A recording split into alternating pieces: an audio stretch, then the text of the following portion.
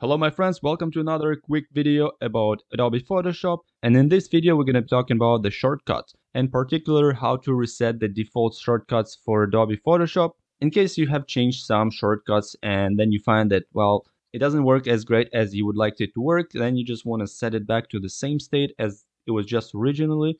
This will help you to do that and if you're new to the channel please subscribe. If you find this video helpful give it a like and I hope this video will help you. Let's get started.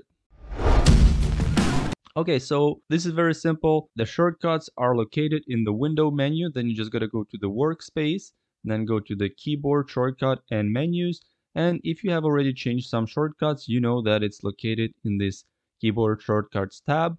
Then, for example, if you have changed some, you know, sometimes it's just run into a problem where you need to reset it to the default. So without actually reinstalling Photoshop. So to do that, it's very simple as you can see in this top right corner here, you can see there is called a set. And as you can see, there is a Photoshop defaults and and then your also your modified one like you have your for example your own saved one if you have saved. If you want to restore it you just gotta go to the photoshop defaults.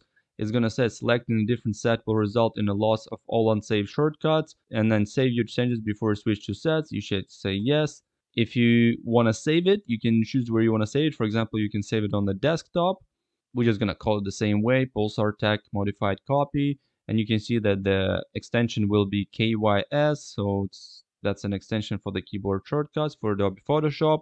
Then just got to click save and then click OK.